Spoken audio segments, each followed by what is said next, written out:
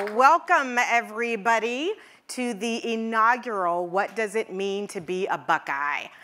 I am so surprised that so many of you are here this afternoon just to see me. I mean, I feel overwhelmed and incredibly grateful that we could pull in this many people on a Thursday before a holiday. For me. I'm very clear that this is not about me at all. This is about the incomparable and amazing uh, Gus Johnson. I am so excited and honored to be able to share both time and space um, with Gus. We've had some time together um, today, and I just have to tell you all, you are in for a treat. As dynamic as he is in the broadcast booth, he's even better in person. So without further ado, let's run a little highlight reel of Gus Johnson and then we'll bring him on out. From the legendary shoe, the world famous Ohio State Buckeyes. Elliott again! 40, 30, 20. They're playing that Buckeye swag song already. Here's Jones dropping back.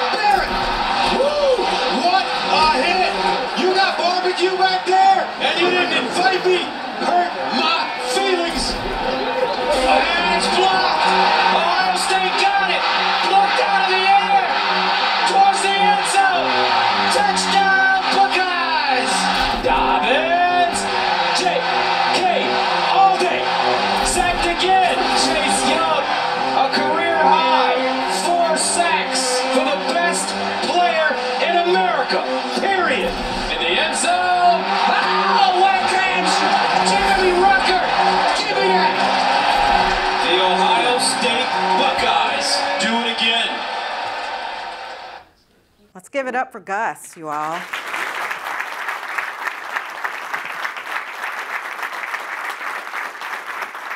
So I have to tell you, I had like a four page bio on Gus. And when we did our run through, I kept walking back and forth, and it was still 20 minutes, and I was still talking and walking. So we decided to sort of tighten up his, his bio um, so that he can actually tell more of his story that tells you more about exactly who Gus Johnson is. So I have just a brief paragraph here, and then we're going to bring him out. The most exciting voice in all of sports broadcasting, Gus Johnson is the lead play by play announcer for Fox Sports, college football, and college basketball coverage. Johnson has served as Fox Sports lead college football play by play voice since 2011 and of the network's college basketball coverage since 2013, the very first year Fox Sports carried national college basketball games. Johnson also contributes to Fox Sports NFL coverage for a select slate of games in the booth. So without further ado, please join me in welcoming the man who says he'll roll up on you folks and let you smell his cologne, play-by-play announcer, Gus Johnson.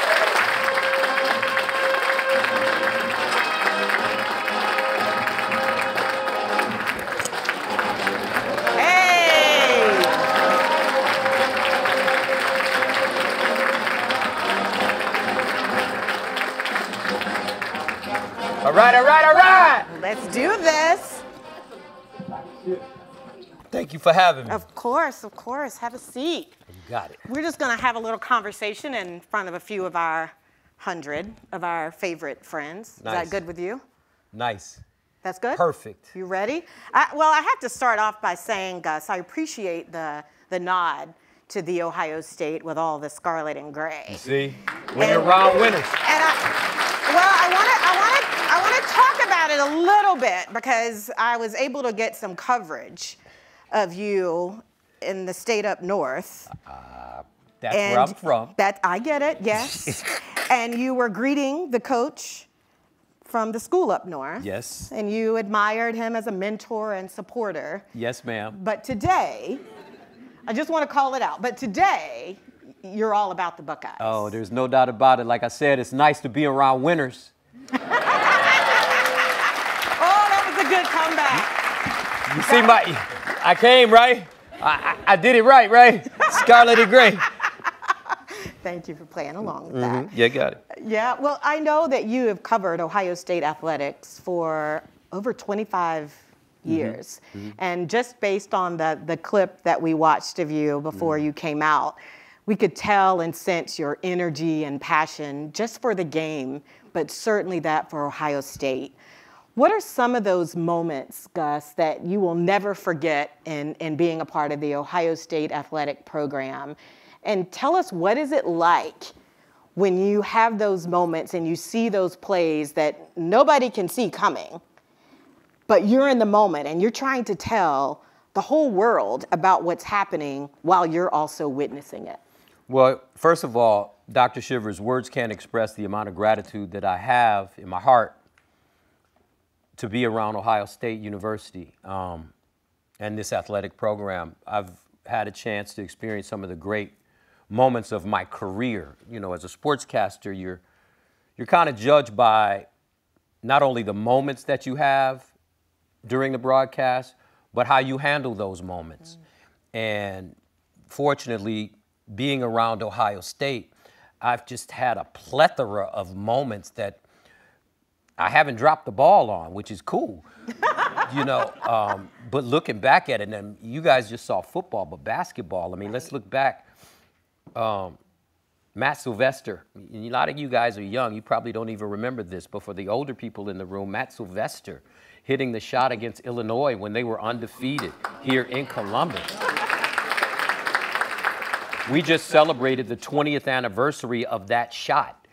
I think this past year, during basketball season, this past year, Jimmy Jackson and I were were, were calling uh, Illinois, uh, uh, Ohio State game. I don't remember who the uh, Michigan actually, and uh, we celebrated the 20th year, uh, the 20th anniversary of that shot.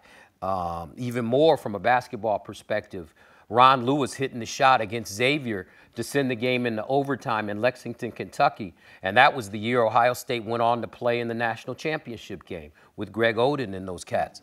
Um, so, and that's just basketball. Football, and as you saw, man, some of those moments were just uh, JT Barrett leading Ohio State back against Penn State at night. Saquon Barkley is playing for Penn State.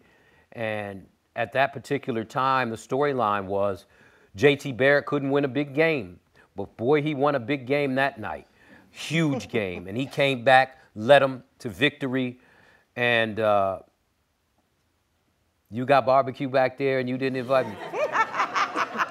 now, see, what I was thinking about during that game, before that game, I don't know why, but I was thinking about barbecue. And I was saying to myself, if somebody had a barbecue and they didn't invite me, that would hurt my feelings. and I would really want to punch somebody in the mouth. So, uh, Denzel Ward, that was a devastating hit, and it just popped in my head. You got barbecue back there and you didn't invite me? Oh, I'm gonna, you done hurt my feelings now. I'm gonna give it to you. Um, but, but who could ever forget? And to me, this is one of the great moments in the history of my career. Cardale Jones. Hmm. Think about that story, guys. Think about a young man from Cleveland, Ohio, looking for an opportunity, didn't get it up until this point. But all of a sudden, Braxton Miller goes down, JT Barrett goes down. The third string quarterback not only has to come in and win a game, but he's got to come in and win the Big Ten championship. Not only does he have to come in and win the Big Ten championship, he's got to come in and win the national championship. And that's exactly what he did out of nowhere. And to me, that story doesn't just talk about Cardale Jones. That story talks about the preparation of an Ohio State student, not student athlete, a student that has the mental ability to focus and concentrate when everything is on the line. I'm talking about a national championship. They beat the brakes off of Wisconsin. And then he went into that game with Alabama. And to me, the Oregon game was a great game. But that Alabama game, when Nick Saban was stuttering at halftime during the interview, go back and look at that. He was stuttering. His hands were shaking. He was like, I, well, well I, and they were winning. And they were winning. But the moment that, you know, and as a reporter, I get an opportunity to, to get some inside information. When Cardale Jones, I don't know if you guys remember, when he ran over that safety, and he stood over that safety. And that safety, I can't remember his name right now, but he was an All American. He's in the NFL right now. He stood over that safety, and you know what he said to him? And I'm going to give you the PG version. He said, Boy, get up, because I'm not done with you yet. Wow. And that's a true story. And the Buckeyes weren't done with the Crimson Tide, and then they went on to almost break Marcus Mariota, the Oregon quarterback, in half and win the national championship. And for me, I didn't call those two last games, the semifinal and the final, but I did call the Big Ten championship. I did have a chance to call the game when Cardale Jones came in as a third string quarterback out of the blue and won because he was prepared and he was supported, not only by his team, but he was supported by his school, by his state, by the alumni, one of the biggest alumni groups in all of America. They supported Cardale Jones that day. He went on and helped the Buckeyes win that game and eventually a national championship. And to me, that left an indelible impression in my mind about what can be done through teamwork, through commitment, through sacrifice, through compassion, all those things that you need to be a winner. And as I just mentioned when I came out here, I'm at Ohio State today. I got on my scarlet and gray because I'm around a bunch of winners, and that makes me feel good.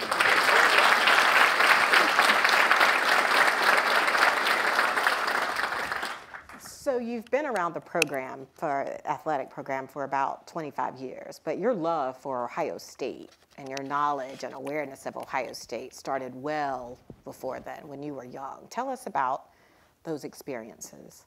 Well, I've been knowing about Ohio State since I was a baby. And not just because of Michigan, Ohio State, but because of my dad. Um, Daddy was from Louisville, Kentucky, and he came up hard, meaning racism in the South, uh, segregation, all those kind of things that we know about and we continue to learn about. But he traveled to Detroit in the 50s during urban migration. And urban migration was uh, basically he wanted to come up to the big city and get a job in the plant. Daddy used to always say, "Boy, I got here on a Thursday in Detroit, and I was working at Chrysler on Monday." and back then, you know, it was really nice when you worked in the plant. You not only had a good job, but you can afford to maybe have a boat or summer house and stuff like that, cottage. But Daddy, Daddy loved sports. He wasn't an athlete. He didn't participate in sports. He was more of a singer and a dancer. But he loved the stories of sports. In, in, in today's world, especially in academia, there's been a big transfer into, and I want you guys to keep this in mind.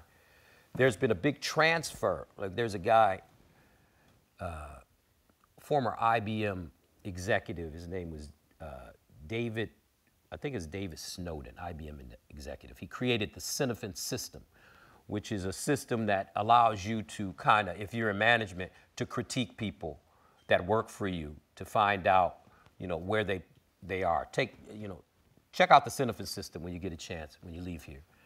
Anyway, he said that as an IBM executive, he said one of the most important things now in business is storytelling.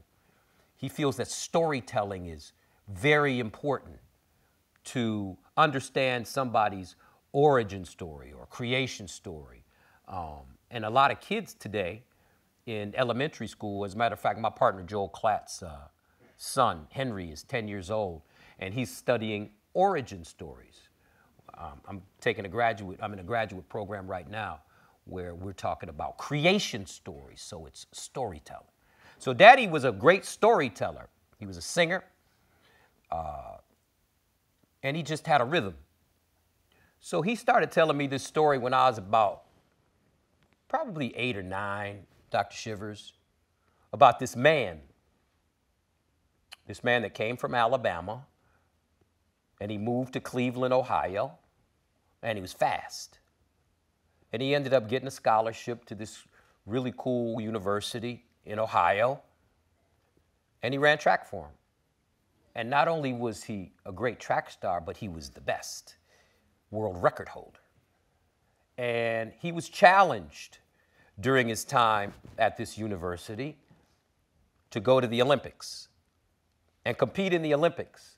And it was a very interesting Olympics that year.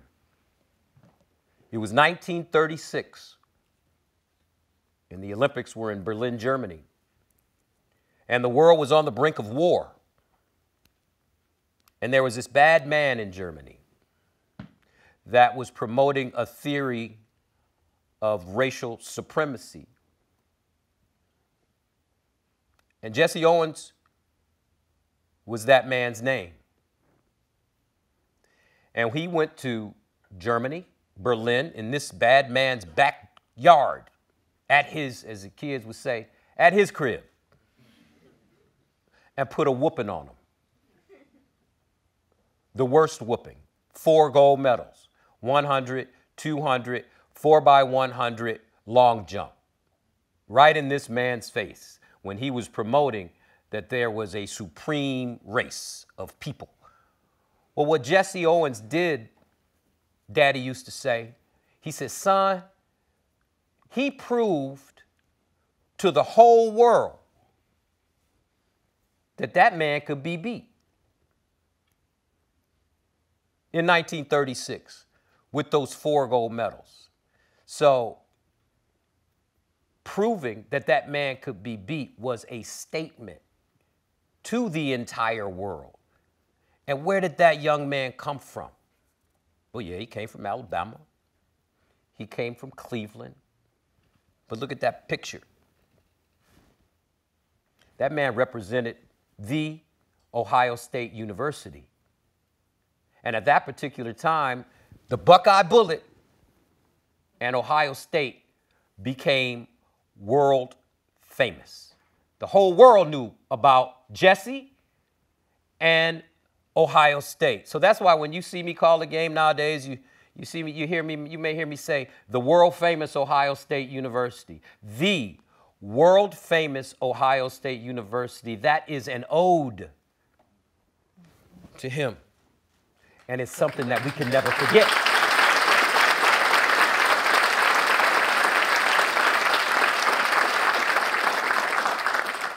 Now think about it. Daddy used to say, Daddy would be like, now think about it, son. He went over and did all that, represented the United States, represented Ohio State University, represented the positive side of the world that eventually was going to have to beat back this bad man. But then he came back, and because of the rules and the laws and the racism in our country, he couldn't even stay at the dorm with his classmates. Think about that, what kind of effect that can have on your psyche. You go over here and, as history would write it, you help in your part save the world. But then you come home and you're treated, you know, like a, a person that's not a human being. But Jesse, I went over to the Jesse statue today to prepare for you guys. And this is the first time I'd ever, I had ever been to it, Dr. Shivers. And this is what it reads at the bottom of the statue. We all have dreams, but in order to make dreams come into reality, it takes an awful lot of determination, dedication, self discipline, and effort. It behooves a man with a God given ability to stand 10 feet tall. And this is the one that really gets to me in my heart. Ability to stand 10 feet tall. You never know how many youngsters may be watching. Mm. That's right on your campus, right here. So when we talk about the spirit of the Buckeye, when I talk about the spirit of the Buckeye, when I was inspired to come and just have a conversation with you guys, this is not a lecture, this is not a speech, it's a conversation with Dr. Shivers. When I thought about it, the spirit of the Buckeye is the spirit of sacrifice, commitment, compassion, doing something for somebody else and not paying attention to doing something for you, for me.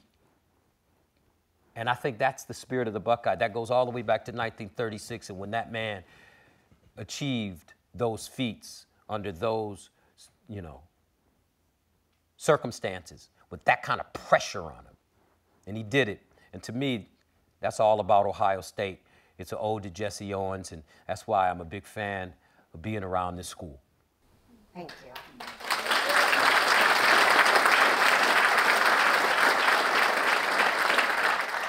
I really appreciate your comments, in particular around the importance of, of commitment. And you made a, a commitment recently. I think in 2021, mm-hmm. you decided to return back to, to higher education and decided to enroll at Harvard. Mm-hmm. And you alluded to it earlier that mm-hmm. you're currently taking classes.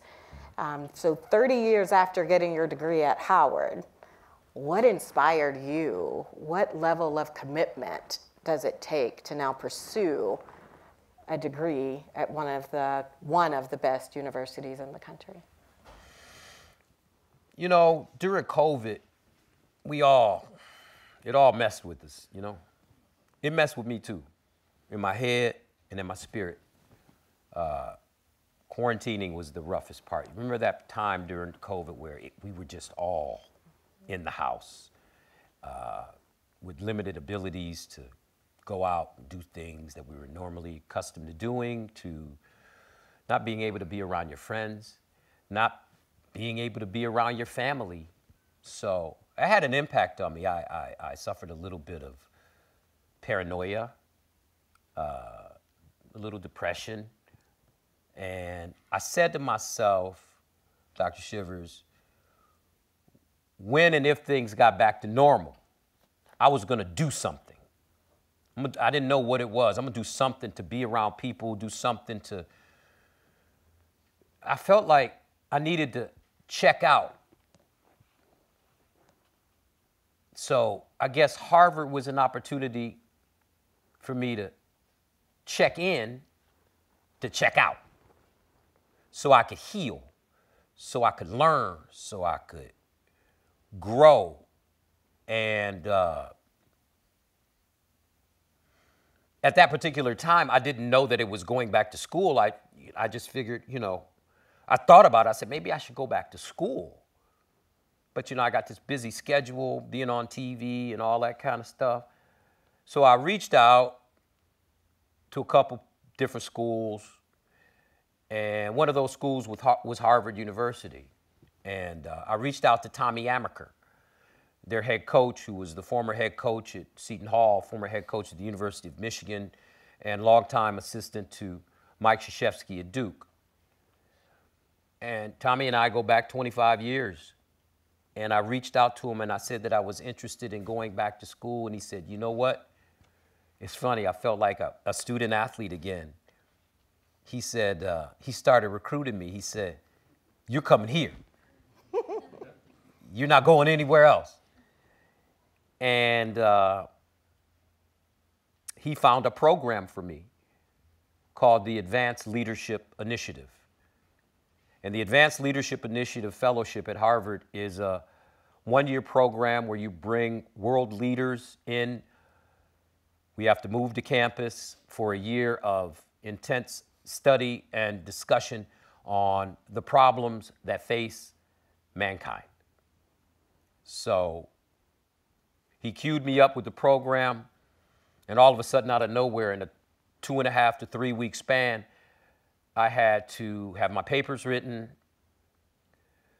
I had to have my three recommendation letters written. I mean, uh, I had to get three recommendation letters, uh, faculty interviews, bios, all that kind of stuff.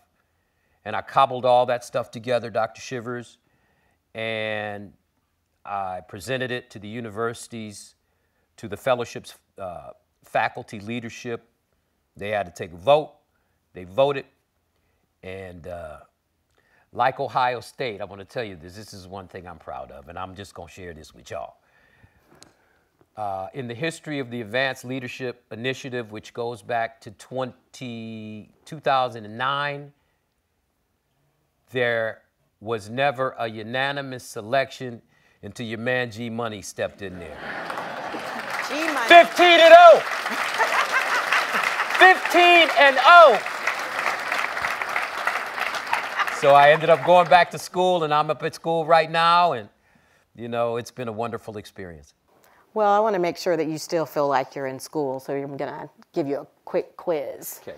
Uh, what's the one lesson that you've learned in being? Because most days you're you're educating people in the space of sports. You're telling the story, right? But now you're getting the education. What's the one thing that you are learning or have learned, or the biggest takeaway or aha moment since being back in the classroom? You know, I think uh, that's a great question, Dr. Shivers. Uh,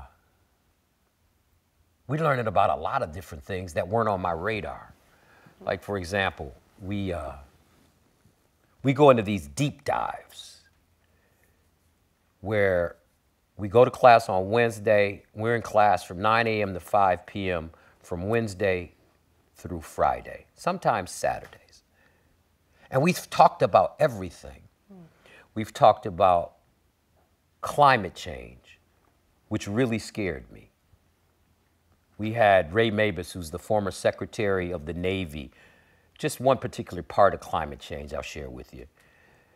And he came in and spoke with us about Norfolk, Virginia, largest naval base in the world, uh, which is sinking.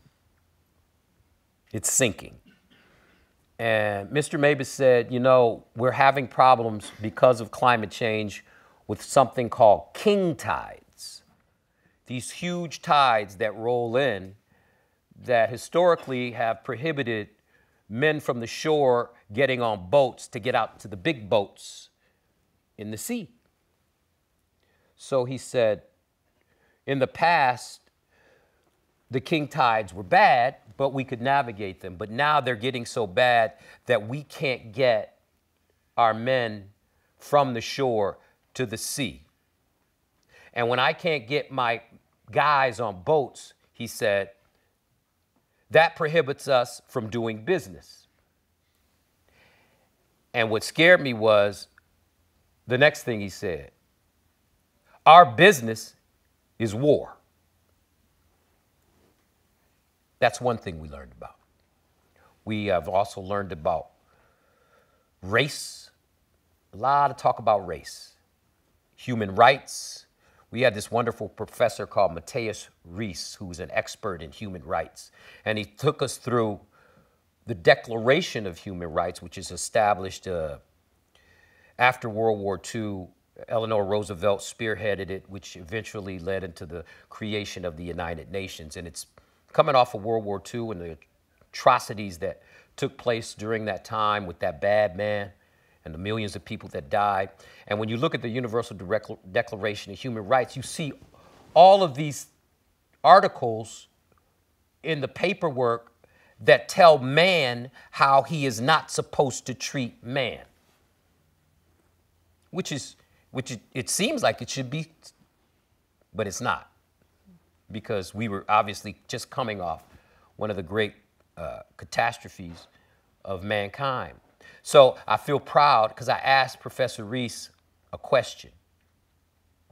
Because I'm looking at this Universal Declaration of Human Rights and I'm saying to myself, why do we need these rules in place? And I asked Professor Risse, right in class in front of my cohort, I said, Sir, Professor, why do we, why does man and I was stumbling to ask the question because I didn't understand how to ask the question. I said, and then he he stepped in front of me and he said, "Oh, I understand, Gus. The question that you're asking is, why does man have such a propensity toward evil?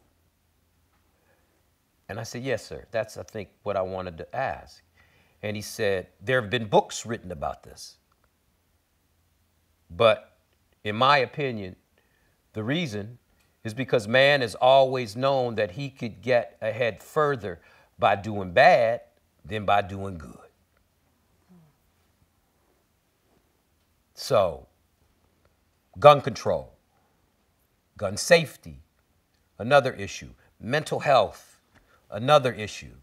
One in five people have a mental disorder. So, it's a disease that we refuse to acknowledge as a legitimate disease, just like cancer, just like diabetes, just like Parkinson's, Parkinson's disease, mental illness is a serious, serious matter that's having an effect on us human beings in all areas of life. So those are, I just can't say one. But I can say uh, uh, a myriad of different things that we've had an opportunity to dive deep in that uh, has helped me become more of a well-rounded person that has put things on my radar that I wasn't even thinking about. And also, probably the most important thing is to have a social impact yes. on the world. Yes, that's a great lead in to my next statement. And, and Gus, we didn't talk about this, but um, I'm going to ask you one or two more questions. And then I think it would be really fun to have two questions to come from the audience. So you have no time to prep. Uh oh. It's just like a game day. Something happens gotta and you're freestyle it like Dougie Fresh in the 80s. Yes, you do. Yes, you do. I hope you're good with that. So y'all be thinking of really tough questions. Don't for, not too for, hard for on the Gus. old man. I'm just kidding. Uh, but but what you were talking about, Gus, is exactly what we spend so much time here at Ohio State talking about. In particular, in our office, our Center Belong Center for Belonging and Social Change. It is about how do we make sure that people are thinking about the world and the ways that they can make an impact in the world. And you have found a pathway to do that, both through educating yourself, but also um, sharing that knowledge and experience, like what you just did with, with our students and with our community. Are there any other examples, Gus, of way that, that you do that in your everyday life? You're busy, you're on TV a lot, and you're learning a lot about the importance of, of social impact. How do you see that playing out in, in the ways that you live in the world? You know, we had a great, I had a great, one thing that's great about this Advanced Leadership Initiative Fellowship is that not only do we do our Advanced Leadership Initiative classes Monday and Wednesday from 5 to 6.30, but we get an opportunity to take classes in any school at Harvard, whether it be the Kennedy School of Government, uh, the Divinity School, uh, education, and so on and so forth. Business school, we could take, I could take medical classes, I could take law classes, I could do whatever whatever you want. But I, I spent most of my time in the divinity department. Uh, I had a great class, a couple of great classes there. One class was called uh, um, Ancient Eastern Western Philosophy. So we studied Hinduism, Buddhism, we studied Confucius, which is all really cool stuff. But one of the characters that came out for me that had an impact on me was the Buddha. And when the Buddha sat under the tree and gained enlightenment, he realized something. And these words to me were very simple but very profound. He said, We humans suffer. And we suffer because of our desires. And in order to end suffering, we have to have compassion. And in order to have compassion, we have to sacrifice. So think about that.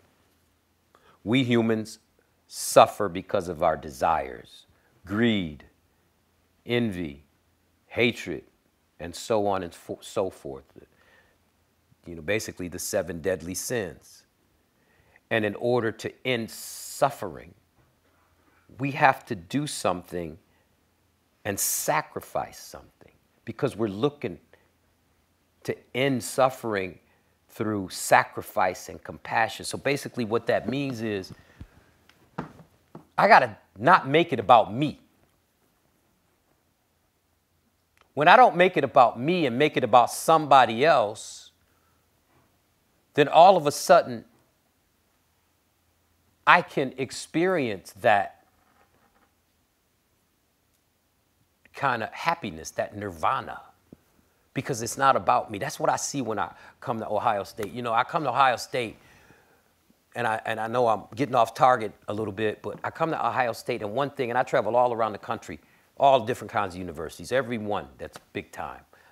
And one thing I realize about being at Ohio State is just there's a feeling of goodness. People, these, these administrators, these teachers, these coaches, they want the kids to do well. They want you guys to do well. And they create an atmosphere where you can do well, where you do have support.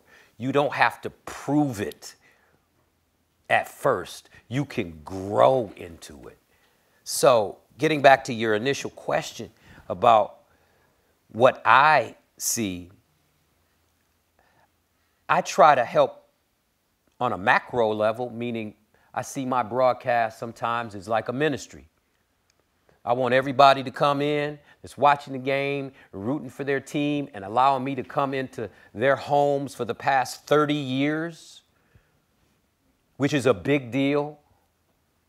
For somebody to let you come into their house and spend time with their family and spend time during their off time and spend time with something that is important and favorable to them, and you get the chance to do that for 30 years.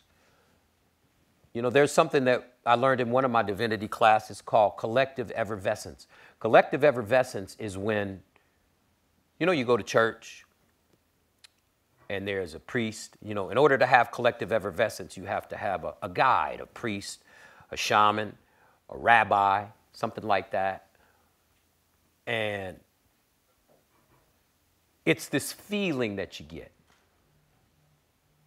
You know, it's a feeling that you get with collective effervescence when you're in church and the priest or the pastor or the rabbi gets you up into a, a high spiritual vibration. And we all come together and we all serve as one during that time. Well, I see, and then we, after that moment is over, we come down and we walk out and we look forward to spending that same amount of time the next week. Now, this doesn't necessarily have to come in church, it could come through a concert. You know, Freddie Mercury, Live Aid, back in the 80s, he had 100,000 people rocking in London. They were all connected, and it was to help, you know, beat this nasty virus that had, you know, plagued us in the world at that time, very similar to what we saw with COVID. But talking to my professors, that can also be shared in sporting events. You know how it is in sporting events. Kentucky can be playing Louisville in basketball, and the Kentucky fans are rooting for themselves, and the Louisville fans are rooting for themselves, but at the same time, we're in the same arena and it's on TV and we're all coming together and we're all waiting for that big shot to decide the game. Well, for me, like that priest, like that shaman, like that rabbi, as a sportscaster, having a chance to go into the homes of between 5 and 20 million people every weekend for 25 years, 30 years. I feel like that's my role. That's part of my journey. That's part of my my ministry, my fellowship that I can be that guy, that person that brings everybody together during this exciting, emotional period of life, which is a game. Bring us all together and then take that energy and blast it out to between 5 and 20 million people. You know, I can't, you know, tell you how uh, important that is for me in my life, my little life, coming from the west side of Detroit. Growing up with my dad, who never went past the third grade, and my mom. Just us three. To be able to, I mean, I see the divinity in the good Lord giving me an opportunity to have a job like my job because I thought I was going to end up working at the plant too, just like my dad, and that would have been cool. But the good Lord has something different in mind for me, mm-hmm. and no way in the world would I have ever thought that I would be sitting here at Ohio State University having a chance to connect and communicate. And that's another thing that the Buddha said that really spun my cap. He said, You can experience happiness even in tragedy. You can experience happiness if you understand how to be where your feet are, present. You can experience happiness in almost every moment of life. For example, all right? We're all sitting here together. All of us are having this experience together. At this particular moment in time in our short lives. And I don't know if you feel like I do right now, in this very moment. In this very moment, I'm happy. I'm really happy. I'm happy to see you. I love your outfit, your red and your black. I love yours too. Yeah. I see this kid with his Ohio State hat on. He's got his fat gold chain on too, so. Looking like a B-boy. I'm a B-boy standing in my B-boy stance, you know? But, I mean, that's the thing, you know, Dr. Shivers. Yes. Just to be able to be connected. Thank you. Mm-hmm. I have one last question, mm. and I think you've talked about it because you, you love Ohio State. I want everybody to record that. Gus loves the Ohio State University. The world famous. The world famous Ohio State University. We need to University. spread that That's around, right. guys. That's right. That's an ode to Jesse Owens. What does it mean to be a Buckeye? What does it mean to be a Buckeye? In my opinion, from what I've seen, and I'm not a Buckeye in on paper, but I feel like I'm a Buckeye in spirit. From what I've seen, what it means to be a Buckeye is someone that is willing to sacrifice on a macro level or maybe even on a micro level, one of the two. But to sacrifice, to have commitment and compassion. That's what I know about this university. I know that. Beyond a shadow of a doubt, I know that the people here care. And the people here aren't too hard on their kids. They make mistakes.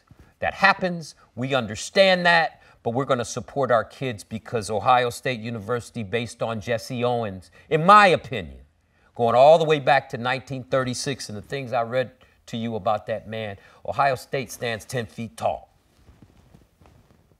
and is always ready for a challenge and is always going to support their people, their coaches, their players, their students through sacrifice, commitment, and compassion, which basically means to do something for somebody other than yourself.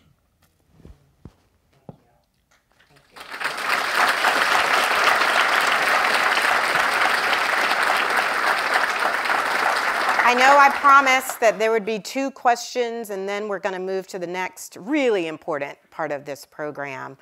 Um, Matt and Dante, Dante, um, if you have the question you think you can't let Gus Johnson leave the Ohio State University without asking the question, raise your hand. See, we got somebody already. We got, oh, oh, oh, Dante, good luck with that.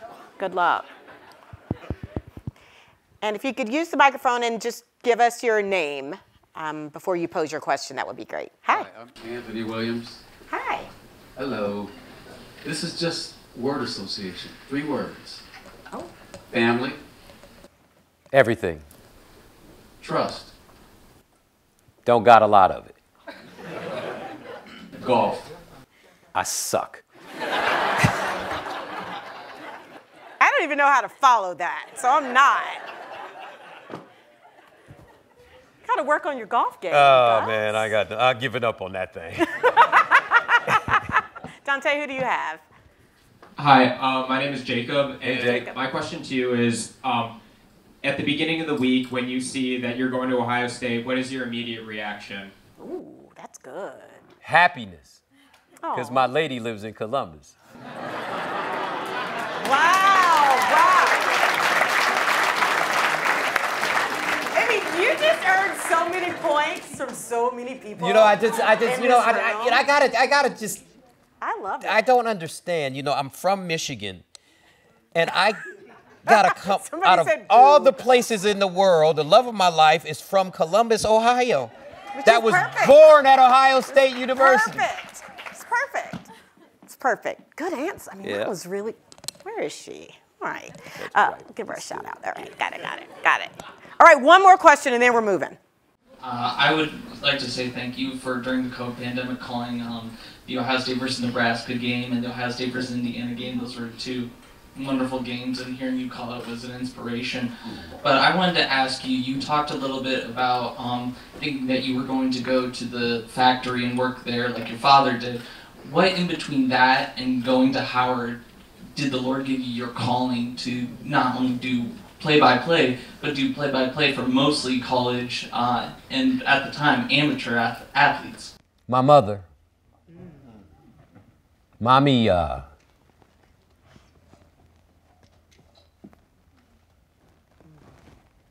I miss her.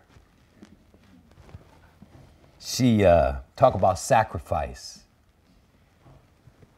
She sacrificed everything for me. She uh,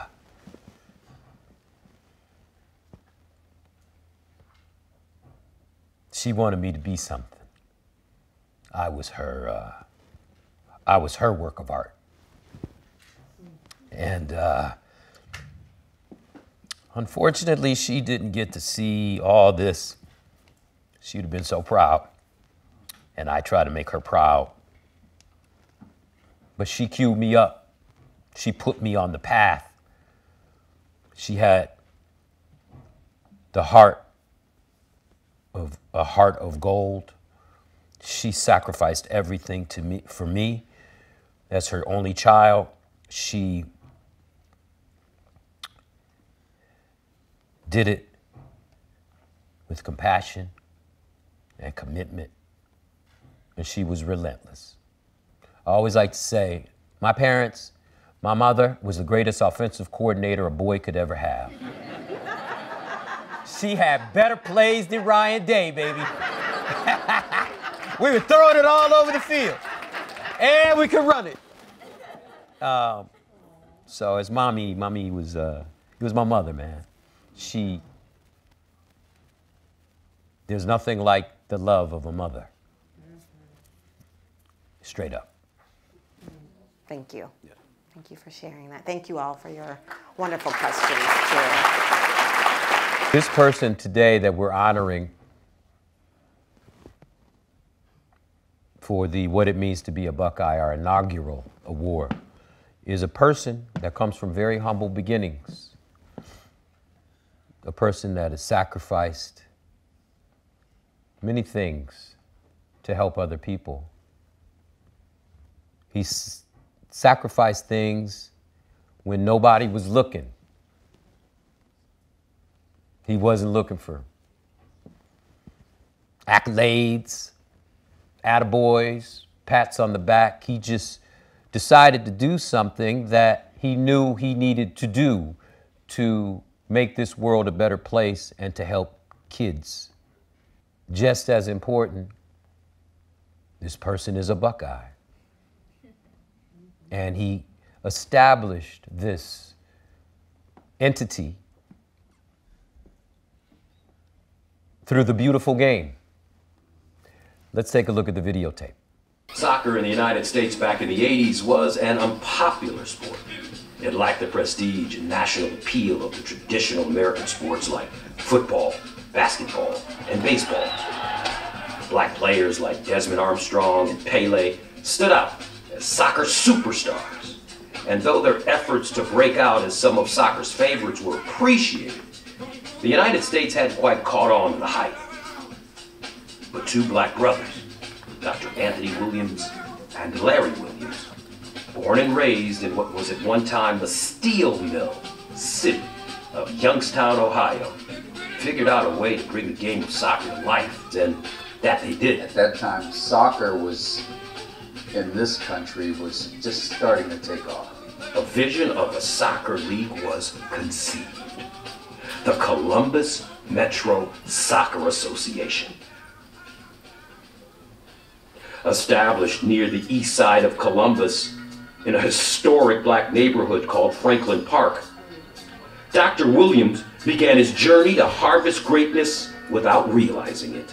Motivated by the lack of playing opportunities his oldest son faced as a youth soccer player playing in the suburbs of Gahanna, Ohio, Dr. Williams made the conscious decision to create something new, something deliberate, something transformative. If the why is big enough, the how doesn't matter. Coach Anthony and Coach Larry put together one of the fiercest and most talented select soccer teams the city of Columbus had ever seen and named them the Zulus. This team had it all a high level of talent, style, The swagger was crazy. and skill that impressed people from all over. They were little in size, but were unstoppable.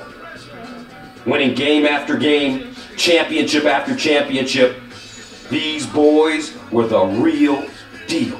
They came with confidence and they came with spirit and they had personality. And in some ways, you were beat before the whistle even blew.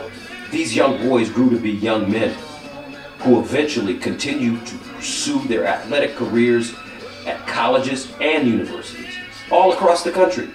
Schools that most players only dream to attend Yale, Brown, Johns Hopkins, Howard, Guilford, UMass, Davidson, the University of South Carolina, Harvard, Ohio Wesleyan, Morehouse, Purdue, and the world famous Ohio State University, to name a few.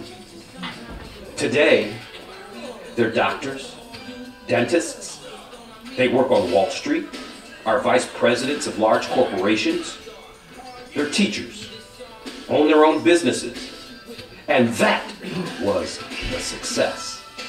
That was the real legacy of the Columbus Metro Soccer Association. Like the trunk of a seeded tree with strong and healthy roots that over time grew to be tall and mature with thick branches spanning from one end to the other. CMSA was that family tree, a tree amongst all the other hundreds that surrounded the CMSA family at Franklin Park in 1985, back where it all started.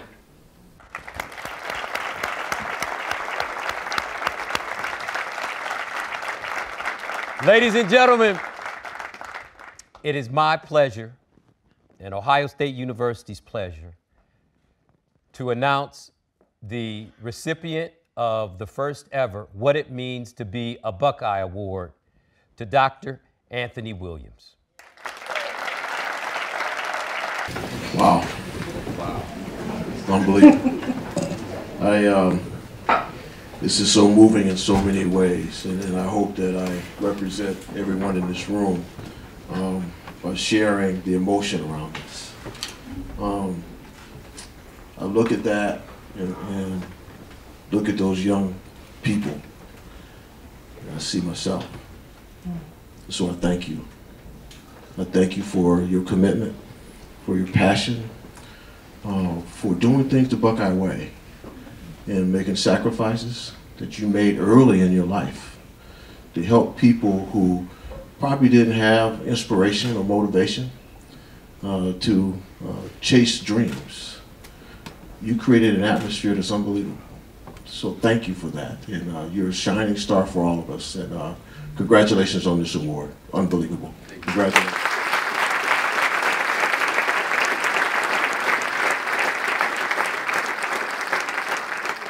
I'd like to read what the award says first. What it means to be a Buckeye. And it's got the Jesse Owens wreath. Presented to Dr. Anthony Williams. Service, sacrifice, compassion.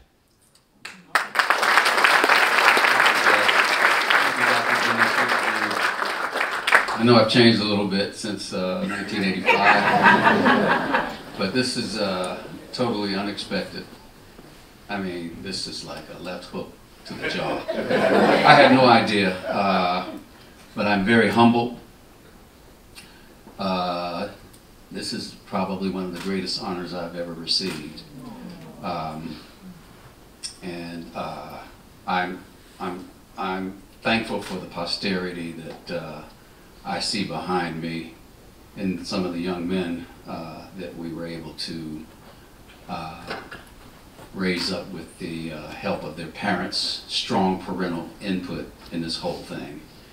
Uh, I just flew by the seat of my pants and let God uh, uh, take my passion to wherever it would go. So I, I don't claim uh, to be the uh, uh, the owner or director of any of this stuff. I just, as the young people say, do what you do. So, and it was a, it was a small window of time, but I gave it all my effort, 100%. And so, uh, again, I'm grateful, and uh, this is a, a great day for me, and I appreciate everything. Thank you.